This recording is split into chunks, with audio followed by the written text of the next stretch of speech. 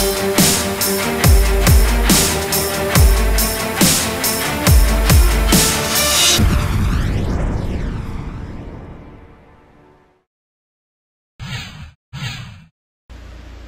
По пътните артерии в Бургас заедналите дупки все по-рядко се асфалтират за разлика от тротуарите.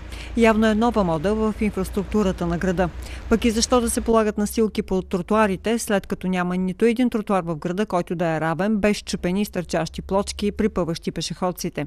И докато шофьорите недоумяват защо асфалта е там, а не където трябва по пътищата, пешеходците си искат тротуарите с плочки. Според мен с плочки трябва да бъде по-красиво и това ми е мнението.